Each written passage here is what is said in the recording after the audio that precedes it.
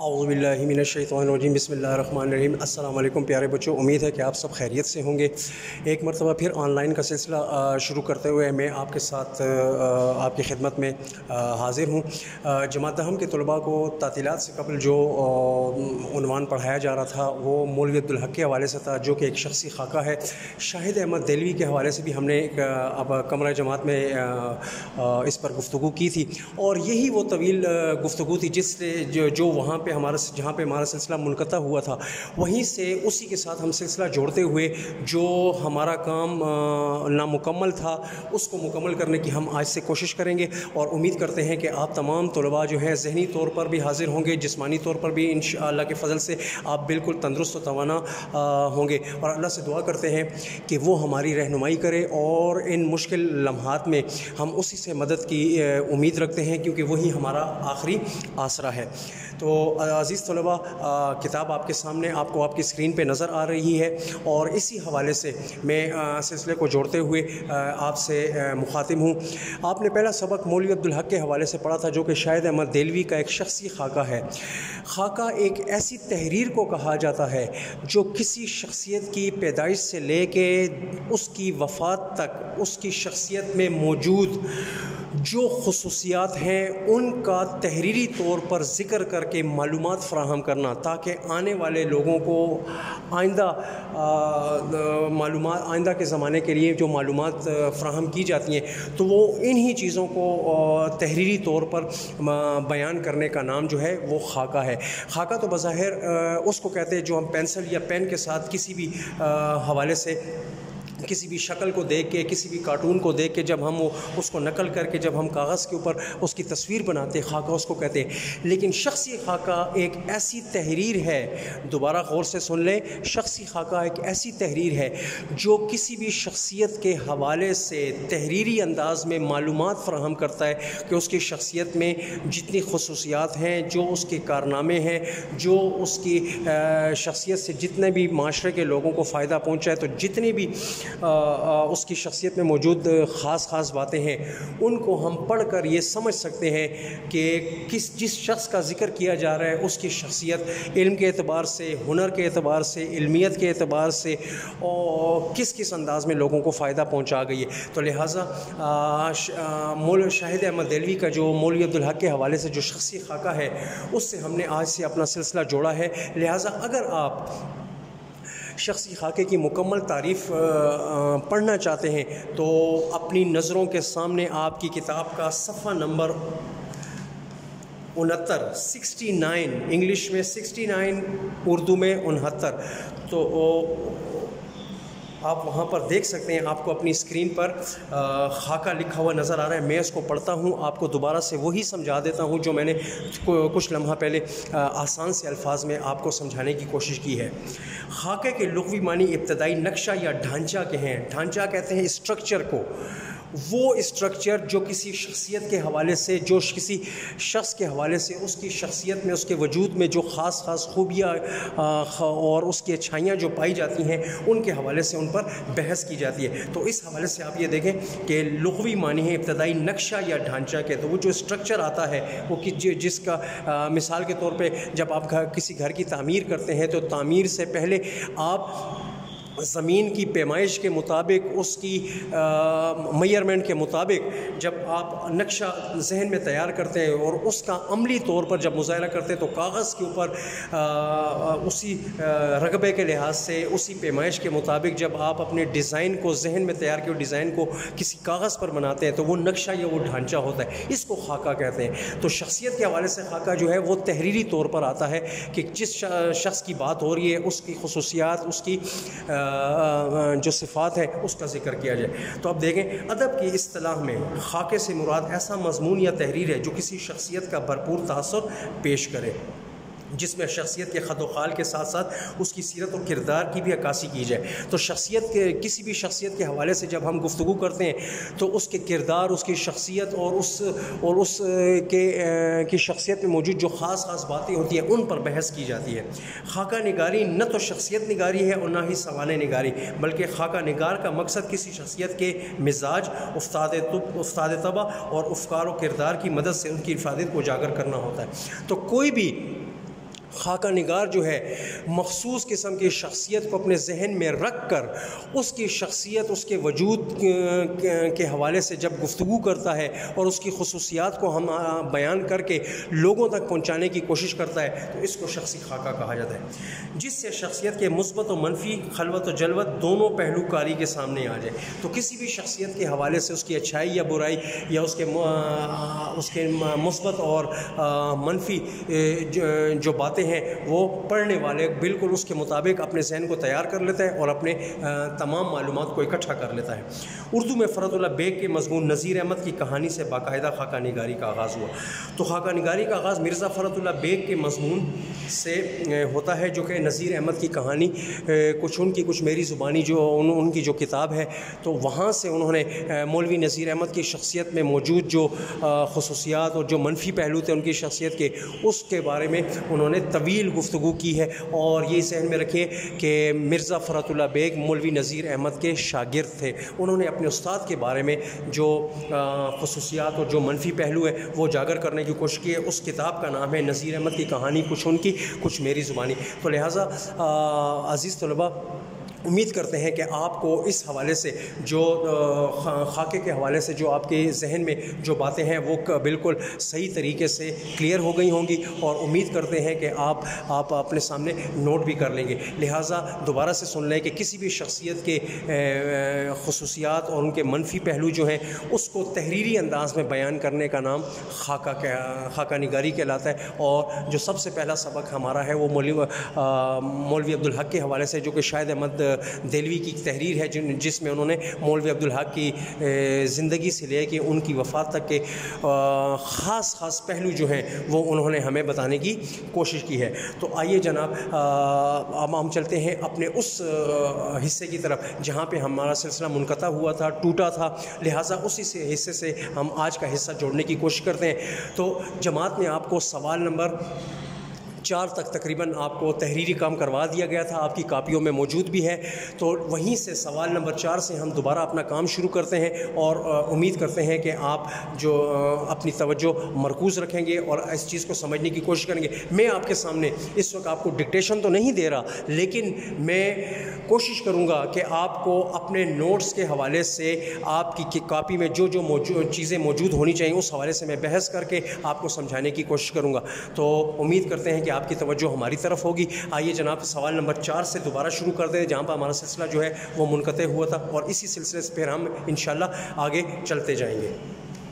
मौलवी अब्दुल हक के के हवाले से जो हमारे सामने जो सबसे पहले जो चीज़ आती थी वो हमने आपको बता दी थी। सबसे पहले हमारे सामने जनाब ये देख देख लें कि मौलवी अब्दुल हक के हवाले हवाले से शायद अहमद दिलवी का जो मजमून है तो मौलवी अब्दुल हक की शख्सियत में जो ख़ास ख़ास जो बातें हैं, वो आपको आपकी कापी में भी दर्ज करवा दी गई थी और आपको अपनी इस वक्त, आपको अपनी स्क्रीन पर भी नज़र आ रहा है कि सबक जो है ये मौलवी अब्दुल हक है। ये सबक जो है शायद अहमद दिलवी की एक किताब से माखूज है, जिस बस में खुश नफसा से लिया गया है, एक छोटा सा इकतबास लेकर यहाँ पर आपकी किताब में शामिल कर दिया गया है। शायद अहमद दिलवी की जो विलादत है, वो उन्नीस सौ छः हैदराबाद दक्कन है और हैदराबाद दक्कन मौजूदा ज़माने में भी इंडिया का हिस्सा है। और जब ये 1906 में जब ये पैदा हुए थे उस टाइम, उस वक्त ये पूरे का पूरा इलाका बर सग़ीर के नाम से जाना पहचाना जाता था। शायद अहमद दिलवी की जो वफ़ात है, वो उन्नीस सौ सड़सठ है कराची में। तो क़्याम पाकिस्तान के बाद ये कराची आ गए थे, पाकिस्तान वो तशरीफ़ ले आए और यहाँ पर उन्होंने अपनी खदमात जो हैं, वो पेश की थी और उन्नीस सौ सड़सठ नाइनटीन सिक्सटी सेवन में उनकी वफ़ात हो गई थी। तो अदबी अदबी हैसियत से जब उनकी शायद अहमद दिलवी की जब हम गुफ्तु करते हैं तो खाका नवीस भी हैं, मजमून नगार भी हैं। और फिर इसी हवाले से जब उन्होंने अपनी खदमात जो हैं, वो पेश की हैं तो राइटर्स गिल्ड के नाम नाम से एक इदारा है तो उसकी उसकी तामीर के लिए या उस, उसके क़याम के सिलसिले में जो खदमात है, वो शायद अहमद दिलवी ने पेश की थी।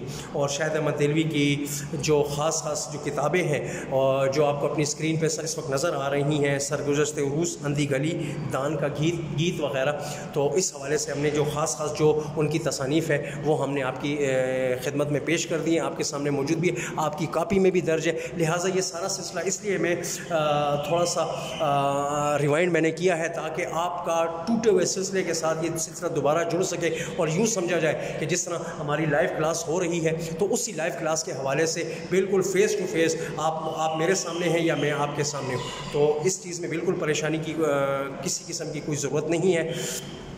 सवाल नंबर चार, हम, हमने कमर जमात में शुरू किया हुआ था। तो कमर जमात के हवाले से जब हम बात करते हैं तो आपको अपनी स्क्रीन के ऊपर सवाल नंबर चार भी नज़र आ रहा है। और ये हमने जब शुरू किया था तो उसके चंद एक नकात जो है, वो हमने नोट भी किए हुए थे। और कहीं कहीं तलबा ने इस सवाल को मुकम्मल भी किया हुआ था।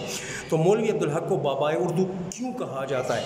तो उर्दू ज़ुबान के हवाले से मौलवी अब्दुल हक की जो खदमात हैं, उन खदमात को मद्दनज़र नज़र रख कर ये सवाल जो है किताब में दर्ज किया गया है। सबसे पहला पॉइंट आप ये देख लें और पहला पॉइंट लिखने से पहले आप इस सवाल की जो सुर्खी है, आपने वो भी कापियों में भी नोट की थी और अभी भी आपके सामने आपके स्क्रीन पे नज़र आ रही है, बाबा उर्दू का ख़िताब जो है, वो इस सवाल के जवाब की जो सुर्खी है, उसमें जो जेल में जो नकात दिए गए हैं, ज़रा गौर से सुन लीजिए और अपने पास हो सके तो नोट भी करते जाएँ। अगर आपकी कापी में मौजूद है तो सामने कापी रख के ज़रा देख लेंगे अगर कोई तलफ़ का या अल्फाज की कोई गलती है तो उसको आप दुरुस्त भी कर सकें। मौलवी अब्दुलहक को बाबा उर्दू इसलिए कहा जाता है कि उन्होंने अपनी पूरी ज़िंदगी उर्दू ज़बान की तरवीज व अशात के लिए वक्फ़ कर दी थी। उर्दू हिंदी तनाज़े पर उन्होंने गांधी जी से भरपूर टक्कर ली। ये सारा सिलसिला जो है वो, ये सारी बातें जो हैं वो किताब में दर्ज है कि मौलवी अब्दुल हक जो है वो गांधी जी की मुखालफत पर आ गए थे कि गांधी जी उर्दू ज़बान की की मुखालफत पर थे। लिहाजा मौलवी अब्दुल हक ने भी बड़े पुरजोश अंदाज में गांधी जी की मुखालफत की है कि आप उर्दू ज़बान की मुखालफत क्यों कर रहे हैं? लिहाजा मौलवी अब्दुल हक ने दलाइल के साथ साबित भी किया। तीसरा पॉइंट देखें। मौलवी अब्दुल हक ने औरंगाबाद के मकाम पर अंजुमन तरक्की उर्दू का ऐसा इदारा कायम किया जो पूरे बर सखील के उर्दू का मरकज़ बन गया था। नंबर चार, उन्होंने हैदराबाद, दक्कन में जाम उस्मानिया के नाम से उर्दू यूनिवर्सिटी बनाई, जिसमें तमाम मजामी की तालीम उर्दू ज़बान में दी जाती थी। नंबर पाँच अंजुमन तरक्की उर्दू के लिए अपनी पूरी जायदाद तमाम असासा वक्फ़ कर दिया था। नंबर छः उर्दू ज़बान की तरवीज व अशात के लिए मौलवी अब्दुल्ला किसी से एक पैसा तक तलब नहीं किया करते थे। नंबर सात, उर्दू को कौमी ज़बान का दर्जा देने के लिए तमाम उम्र मसरूफ़ कार रहे नंबर आठ, गांधी जी से टक्कर लेने के बाद उर्दू ज़बान के कायद अजम बन गए थे। नंबर नौ, आप उर्दू ज़बान की खिदमत के बायस बाबा उर्दू के नाम से याद किया? जाने। लगा।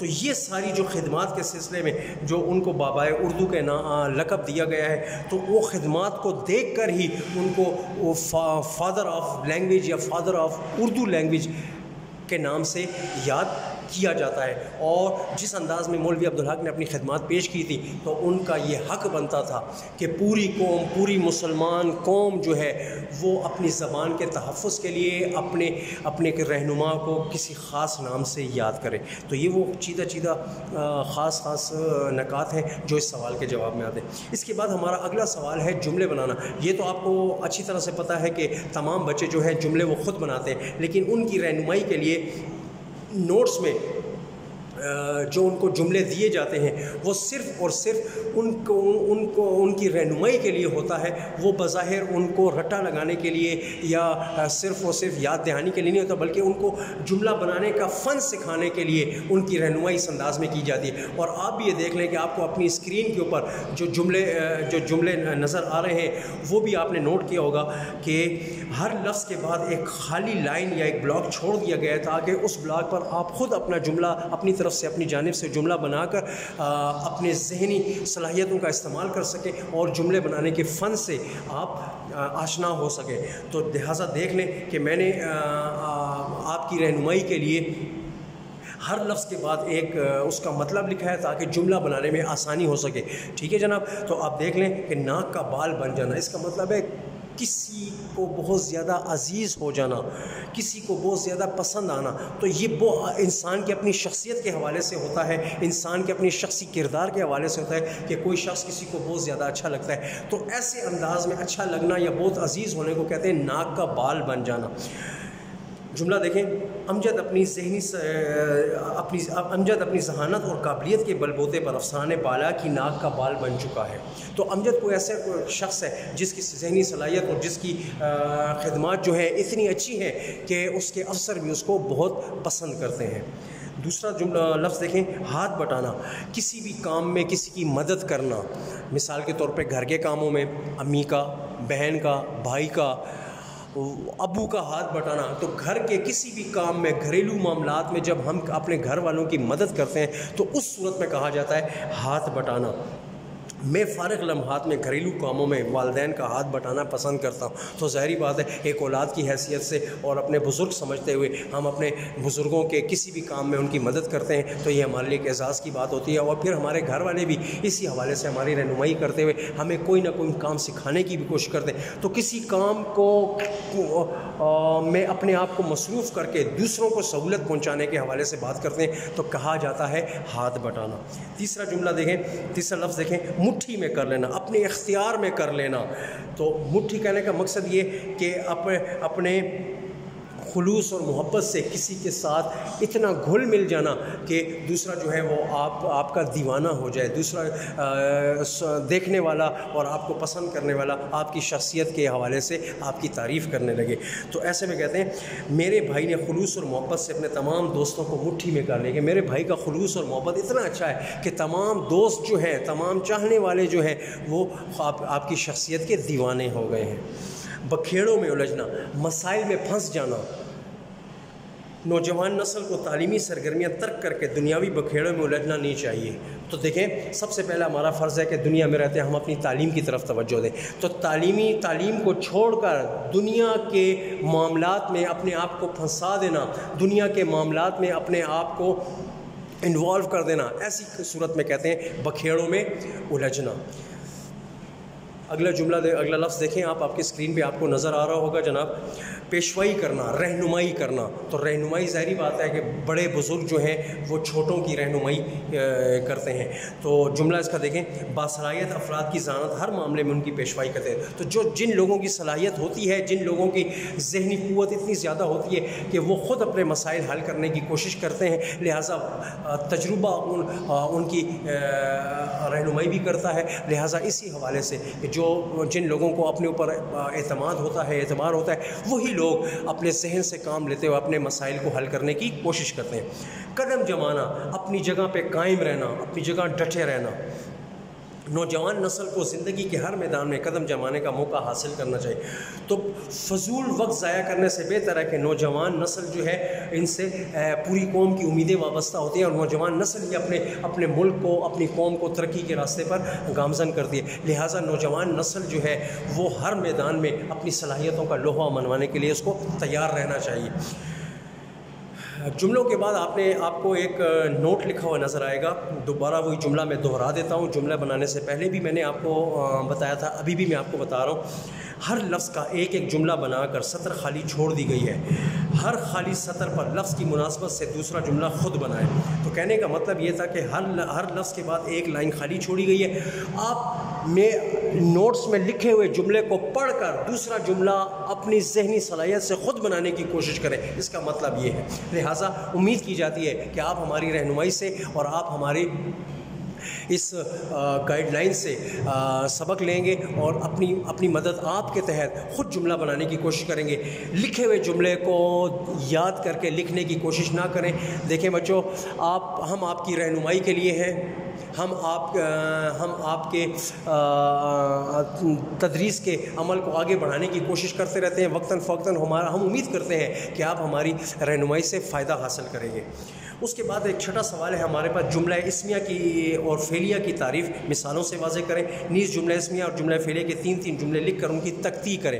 तो इस सवाल के दो हिस्से हैं। तो सबसे पहले आपको अपनी स्क्रीन पर नज़र आ रहा होगा कि जुमला इसमिया की जो तारीफ़ है तो पहले, सबसे पहले हम जुमला इसमिया की तारीफ़ को हम देखेंगे और उसके बाद फिर हम ये नोट करेंगे कि आप आप किस किस अंदाज में इस चीज़ को समझ रहे हैं। तो क्लास नाइन में भी आपने जुमला इसमिया और जुमला फ़ैलिया की तारीफ़ जो है आपने कापियों में लिखी भी है, आपको जमात में पढ़ाई भी गई है और चाक बोर्ड की मदद से आपको तमाम चीज़ें सिखाई भी गई हैं। लिहाजा वही चीज़ दोबारा आप देखें कि अब चूँकि आप क्लास दहम के स्टूडेंट हैं तो लिहाजा दोबारा से इस चीज़ को समझने की आपकी कोशिश करें कि जुमला इसमिया है क्या चीज़। तो सबसे पहले हम उसकी तारीफ़ बयान करते हैं, मिसाल के ज़रिए से हम वाजे भी करेंगे और सबूत भी हम देंगे कि कौन कौन सी ऐसी चीज़ है है कि जिस जिसका अमली मुशायरा जो है कमरा जमात में किया गया था और दोबारा से आपकी रहनुमाई के लिए आपको वीडियो के ज़रिए या या ऑनलाइन क्लास के ज़रिए से आपकी स्क्रीन पर जो कुछ आपको नज़र आ रहा है, वो सिर्फ़ और सिर्फ़ वही चीज़ है जो आपको लाइव क्लास में, लाइव एजुकेशन में आपको सिखाई गई थी। तो आप, प्यारे बच्चों तवज्जो से ज़रा सुनिए। जिस जुमले में मुस्ंद और मुस्ंद दोनों इसम हों और फैले नाकस आए, उससे जुमला इसमिया कहा जाता है। तो कहने का मकसद इतना मुस्ंद और मुस्ंद इले आपको अपनी स्क्रीन पर नज़र आ गया होगा कि मिसाल के तौर पर मिसाल के तौर पर अमजद जहीन है। तो अमजद भी इसम है और जहानत भी जो है वो वो वो भी इसम है। लिहाजा नतीजे के तौर पर यह बात हमारे सामने आती है कि मुस्ंद और मुस्ंद दोनों इसम और फ़ैल नाकस आए। तो फ़िल नाकस आए तो फ़िल नाकस की जो मिसालें हैं, वो वो आपको अपने कमरे जमात में बता दी गई होंगी। और फ़िल नाकस के हवाले से अगर मैं बात करूँ तो ये आपको देख देख लें बच्चों फ़िल नाकस है, हैं, था, थे, थी, वगैरह वगैरह। तो फेल नाकस ऐसे हरूफ जिसमें जुमला मुकम्मल हो जाता है। मिसाल के तौर पर अगर आपको अपनी स्क्रीन पर नज़र आ रहा है, अमजद जहीन है तो देख लें कि जुमला जुमला जो है है के ऊपर आके मुकम्मल हो गया और है को मैंने आपके सामने सबसे पहले लिखा है, जिसको मैं सर्कल करके आपके सामने आपकी खिदमत में मैं पेश भी कर रहा हूँ। और फिर सबसे बड़ी बात बड़ी बात ये देखें कि इसमें दोनों मुस्ंद और मुस्ंद दोनों इसम है और दोनों हवालों से आपके सामने जो बात की गई है वो यही सूरत हाल है कि हैं भी जो है जिस जुमले में आएगा या था होगा या थे होंगे तो आपने इनको देख लिया होगा कि ये फेर नाकिस की फेर नाकिस की जो मिसालें हैं तो अपनी इस, इस स्क्रीन पर आपने देख लिया होगा। अब इसमें ये देखें कि जुमला इसमिया के फ़ाइल को मुबतदा और सिर्फ़ को ख़बर कहते हैं। तो फ़ाइल कहते हैं काम करने वाले को वो शख्सियत जो काम कर रहा है। तो पहले जुमले में देखें ना अमजद जहीन है तो हमने अमजद कोई ऐसी एक्स वाई जेड कोई शख्सियत है जिसके हवाले से हमने जो बात बात की है तो अमजद के हवाले से हमने बात की है तो अमजद जो है, वो मुबतदा होगा। और सिर्फ़ जो है, यानी खूबी, अब अमजद की खसूसियत क्या है? उसकी जहानत जो है। तो जहानत के हवाले से, चाहे किसी भी अंदाज में, खूबी या खामी, दोनों सिफ्त है। तो दोनों को सिर्फ़ के अंदाज, वजह क्या है कि किसी भी शख्सियत में अच्छाई या बुराई को हम सिर्फ़ के नाम से पहचानते हैं। तो यहाँ पे जो इस जुमले में जो है अमजद जहीन है तो अमजद की जहानत जो है वो उसकी अच्छाई जो है वो उसकी ज़ाहिर कर रही है। लिहाजा ये हमें इस जुमले में एक ख़बर के तौर पर कहा गया है, एक इतला दी गई है कि अमजद नाम का कोई शख्स है, उसकी जहानत जो है वो बहुत आला है, बहुत उमदा है। अल्लाह ताला ने उसको जहनी सलाहियत इतनी दी है कि वो अपने जहन से हर मुश्किल काम को, हर मसले को हल करने की कोशिश करता है और इसी इसी अंदाज से आप आप ये देख लें कि जो ख़बर हमें मिली है वो, वो जो वो है उसकी जहानत की। तो जो ख़बर मिली है वो सिर्फ़ के हवाले से यानी उसकी शख्सियत में जो अच्छाई है उसकी हमें इतला दी गई है। अब आगे देखें एक्स्ट्रा मिसाल तो आप देख लें अमजद जहीन है आमिर नेक है। तो दोनों जुमलों में एक जुमले में अमजद नामी कोई शख्स है उसकी जहानत की तारीफ़ की गई है। दूसरे जुमले में आमिर नाम का कोई शख्स है उसके नेक होने की की हमें इतला दी गई है। समझ गए भाई प्यारे बच्चों? तो ये सारी चीज़ें आपको जमात नहम में आपको सिखाई गई थी।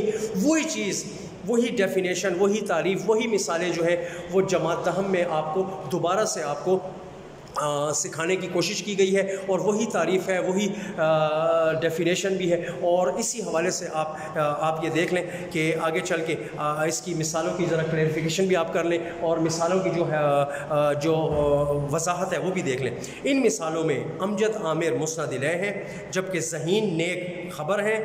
और फेर नाकस के तौर पर है का इस्तेमाल किया गया। तो दोनों जुमलों में आखिर में है का इस्तेमाल करके जुमले को मुकम्मल तौर पर आ, कर मुकम्मल तौर पर हमें समझाने की कोशिश की गई है और जुमला मुकम्मल करके हमें बताया गया है कि यहाँ इस जुमले में जिस अंदाज में जो किसी शख्स की अच्छाई के हवाले से जो बात की गई है वो है के ऊपर आके ख़त्म हो गई है। तो किसी भी जुमले में है है था थे थी। आखिर में आता है तो जुमला मुकम्मल अंदाज में मुकम्मल हो जाता है, हमें नज़र भी आता है, हमें समझ भी आता है और इसी हवाले से हम हम इसको जुमला फिर नाकस के तौर पर इस्तेमाल करते हैं। जो आगे भी सुन लें। जुमला इसमिया के मुस्ंद को मुबतदा और मुस्ंद को ख़बर कहा जाता है। तो जुमला इसमिया का जो मुस्ंद है तो मुस्ंद क्या है? अमजद है। दूसरे जुमले में आमिर है। तो इसी तरीके से आप ये देख लें कि अमजद और आमिर जो है वो मुस्ंद हैं और जिसको आप मुबतदा भी कहते हैं यानी आगाज़ करना इब्तदा करना किसी भी हवाले से आ, किसी शख्स का नाम लेकर इसम का ज़िक्र करना जो है वो मुबतदा कहलाता है। और मुस्ंद को ख़बर कहा जाता है। और मुस्ंद खबर क्या है? ख़बर ये है कि दोनों जुमलों में एक शख्स का जहीन होने की खबर है और दूसरे शख्स के नेक होने का जो हमें बताया गया है तो इसको आप हम आप, आप, आप इसको मुस्बत भी कह सकते हैं। अब जुमले का जो दूसरा हिस्सा है वो सिर्फ़ इतना है कि जुमला इसमिया के तीन जुमलों की तख्ती करें। तख्ती करने का क्या मकसद है? तख्ती। तख्ती। जुमले जुमले को टुकड़े बनाकर वजाहत पेश करना। लिहाजा मकसद क्या है? मिसाल के तौर पे पहला जुमला हमारे पास क्या है? अमजद जहीन है। अमजद जहीन है। तख्ती अब जब इस जुमले की हम तख्ती करेंगे तो इस हवाले से हम कोशिश करेंगे कि इस जुमले के टुकड़े बना दें। तो इस जुमले के टुकड़े क्या बनेंगे? मकसद देखें, आप अगर तारीफ़ पर गौर करें तो जिस जुमले में मुस्ंद और मुस्ंद इसम हो और फ़ैल नाकस आए तो हमने मुस्रत का ज़िक्र भी करना है इस जुमले में मुस्रद का ज़िक्र भी करना है और फ़ैल नाकस का ज़िक्र भी करना है। यानी मकसद ये हुआ कि हमने जुमले को तीन हिस्सों में तकसीम करना है। अब तीन हिस्से ज़रूरी नहीं है कि किसी जुमले के तीन हिस्से हों चार भी हो सकते हैं पाँच भी हो सकते हैं। लेकिन यहाँ पे इस वक्त अमजद जहीन है के हवाले से आ, आ, हम बात करेंगे। तो अमजद जहीन है कि जो हम तीन टुकड़े बनते हैं अमजद जहीन है कि जो हमारे सामने जो तख्ती हमारे सामने आ रही है तो हमें ख़ुद ब खुद पता चल रहा है कि इस जुमले के तीन ही हिस्से बनेंगे जिसमें मुस्ंद मुस्ंद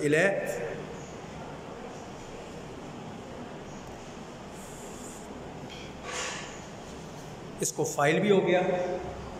फ़ाइल यानी काम करने वाला। और फिर जुमले में ये क्या आ गया कि दोनों इसम हों। तो ज़ाहरी बात है कि अमजद भी और जहानत भी जो है वो दोनों इसम हैं। लिहाजा इसी हवाले से फ़ेर नाकस के हवाले से जब आप बात करते हैं तो आप ये देख लें कि फ़ेर नाकस के हवाले से जब हम ज़िक्र कर रहे हैं तो फ़ेर नाकस आखिर में है का इस्तेमाल यहाँ भी है और यहाँ भी है। तो जहाँ कहीं भी आप जुमला इसमिया होगा, जुमला इसमिया के लिए फ़ेर नाकस का होना बहुत ज़रूरी है, ये जहन में रखिएगा। दोबारा सुन लें, जिस जुमले मुस्ंद मुस्ंद दोनों इसम हो और फ़ेर नाकस नाकिस है। तो दोनों इसम है मुस्ंद और मुस्ंद तो देख लें कि अमजद भी इसम है, जहीन भी इसम है और है जो है वो फ़ेल नाकस है। फ़ेल नाकस। तो ख़ुद इस आपके सामने स्क्रीन पे आपको आपका सामने नज़र आ रहा है कि जुमले का जो हिस्सा है और जुमले की वो जो तख्ती मैंने जिस हिसाब से की है तो आपके सामने है। तो इसी हवाले से आप आप, आप ये देख सकते हैं वजाहत में अमजद आमिर मुस्ंद हैं जहीन ख़बर है। और जहानत क्या है इसको ख़बर भी कह देते हैं। ख़बर ठीक है और ये सिफ्त है। मैंने आपको पहले भी बताया डेफिनेशन में भी सिखा दिया डेफिनेशन में मैंने आपको बता दिया। और नतीजे के तौर पर ये चीज़ हमारे सामने आती है कि जुमला इसमिया जो है, वो उसमें खसूसियत का होना लाजमी है, फ़ैल नाकस का होना जानी लाजमी है और फ़ाइल, जिसे आप मुस्ंद या मुबतदा भी कहते हैं, आगाज़ के तौर पर किसी जुमले का आगाज़ भी कह सकते हैं तो वो होना बहुत ज़रूरी है। तो जुमले का जो दूसरा हिस्सा है, तख्ती करना तो तख्ती करने का मकसद ये है कि जुमले को आपने टुकड़े टुकड़े करके बयान कर देना है कि इसमें मुस्ंद कौन सा है मुस्ंद कौन सा है फ़ैल नाकस कहाँ आता है और फेलिनाकिस क्या चीज़ है? तो इसी हवाले से आपने ये, बच्चों, आपने ये सीख लिया होगा। मिसाल के तौर पर अभी अगर आप ये देखें तो इजाफी तौर पर जो मिसाल दी गई है, फूल खुशबूदार है। तो ख़ुद इस देख लें कि फूल खुशबूदार है। तो हर चीज़ को अलग अलग से बयान करके आपको, आपकी स्क्रीन पे नज़र आ रहा है कि फूल को मुस्ंद हो गया, मुबतदा भी हो गया, खुशबूदार ख़बर है। तो फूल फूल की खसूसियत बयान की गई है कि वो उसमें खुशबू पाई जाती है। और खुशबू के हवाले से हम उसको खुशबूदार भी कहते हैं। और है जो है फ़ैल नाकस है तो जुमला इसमिया है। तो वो ऊपर डेफिनेशन आपके सामने, आपकी रहनुमाई के लिए है। और उसके जो इजाफी जो मिसाल है, वो भी आपके सामने। दूसरी मिसाल देखें, आम। आम मीठे थे। यहाँ पर थोड़ी सी तो गलती है स्पेलिंग मिस्टेक है। आम मीठे थे। ठीक है बच्चों तो ये अलिफ मदा के साथ है, यहाँ पर एन के साथ लिखा गया है, थोड़ी सी यहाँ पे मिस प्रिंटिंग है। तो आप अपने, आपको जब नोट्स मिलेंगे, आपको जब नोट्स दिए जाएँगे तो आप वहाँ पर इस चीज़ की, इंशाल्लाह करेक्शन के साथ आप ये देख सकेंगे कि यहाँ पर जो है स्पेलिंग मिस्टेक है, वो बिल्कुल क्लियर आपको अंदाज में मिलेगी। तो आम मीठे थे, यहाँ भी देखें मुस्ंद ये मुबतदा भी हो गया। मुस्ंद ठीक है, ख़बर है ये, सिफ्त है ये, सिफ्त खबर और फ़ेल नाकस। आप ख़ुद हिसाब लगा लें कि आम मुस्ंद है, मीठे ख़बर है मुस्ंद है और थे फ़ेल नाकस के तौर पर आपके सामने आपको स्क्रीन पे लिहाजा मैंने आपको पहले बताया था फ़ेल नाकस, ये आपको स्क्रीन पे दोबारा से बता रहा हूँ, है, हैं, था, थे, थी वगैरह। तो ये इस किस्म के जो हरूफ है, वो फेर नाकस के तौर पर इस्तेमाल किए जाते हैं, जहाँ पर जुमला मुकम्मल हो जाता है। आप यहाँ पे थे, पर आके जुमला मुकम्मल हो गया। और हमें इस जुमले के ज़रिए से ये इतला दी गई है कि फेर नाकस जो है, वो थे के तौर पर आया है। तो आम मीठे थे जुमला इसमें। अहमद दियानादार है। वो बिल्कुल हु बहू ये वही जुमला है जिस तरह से यहाँ पर अमजद जहीन है या आमिर नेक है। तो यहाँ पे अहमद नाम का वो शख्स है जिसके हवाले से हमें ये इतला दी गई है कि बड़ा दियानतदार किस्म का शख्स है। हर मामले में अपनी दियानतदारी का मुजाहरा करता है। लिहाजा मुस्ंद या मुबतदा जो अहमद हो गया दयानतदार ख़बर या मुस्ंद और है फिर नाकस का जुमला इसमिया इसी तरीके से सवाल का जो दूसरा हिस्सा है तो उसमें जुमला फ़ेलिया की तारीफ़ जो है तो अब हम जुमला फ़ेलिया की तारीफ़ पढ़ेंगे और ये जहन में रखें कि जुमला फ़ेलिया में फ़ेल नाकिस नहीं आता।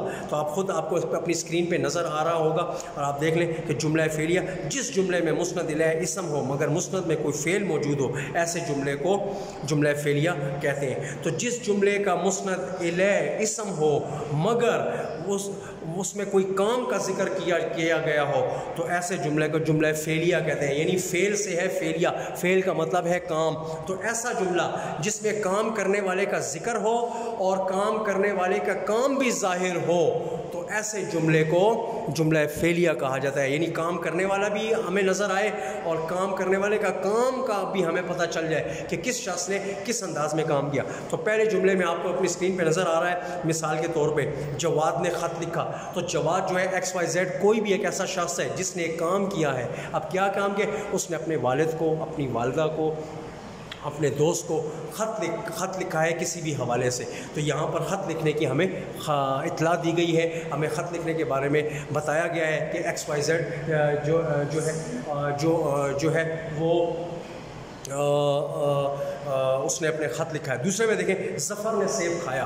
तो ज़फ़र को एक्स वाई जेड कोई ऐसी शख्सियत है जिसने एक काम किया है? तो काम किया है? उसने सेब खाया है। तो सेब एक ख़ुराक के तौर पर अल्लाह ताला की एक नेमत है। लिहाजा ज़फ़र ने, ज़फ़र जो है, वो मुस्ंद है और उसके ज़रिए से किसी काम का हमें बताया गया कि सेब खाया है। इजाफी मिसालें ज़रा आप देख लें इसकी इसके जुमले, फेलिया की तीन जुमले, सलीम ने पानी पिया। तो जिस तरह ज़फ़र ने सेब खाया, उसी तरह सलीम ने पानी पिया। दूसरा जुमला है सलमान ने फूल तोड़ा। तो जिस तरह ज़फ़र ने सेब खाया, इसी तरह सलमान कोई एक्स वाई जेड कोई शख्स है जिसने किसी दरख्त के किसी पौधे से, की टहनी से फूल तोड़ा है। फिर बच्चा दौड़ा। कोई भी कोई भी एक्स वाई जेड कोई बच्चा है, छोटा सा बच्चा है, वो उसने दौड़ने की कोशिश की है।